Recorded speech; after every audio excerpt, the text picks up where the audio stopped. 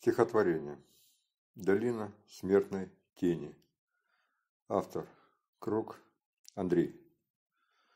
Когда я прохожу долину смертной тени, мне кажется, Господь меня забыл. Но этот самый миг Господь идет со мною, и на песке его шаги, а не мои.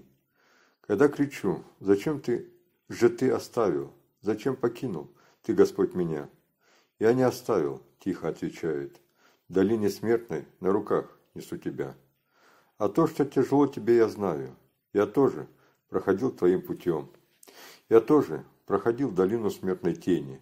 От страха сердце таяло мое. Но укрепил меня Отец, и я не струсил. Страдания, боль, мучения превозмог. Зашел на крест, на смертью одержал победу. Я верю, ты свой тоже путь пройдешь.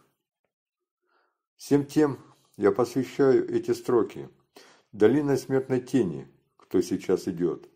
Ты не один, Господь идет с тобою, и на руках тебя сейчас несет.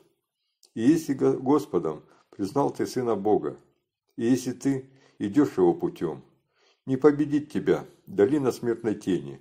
Не бойся, только веруй, Он с тобой. Написано 29 марта 2021 года.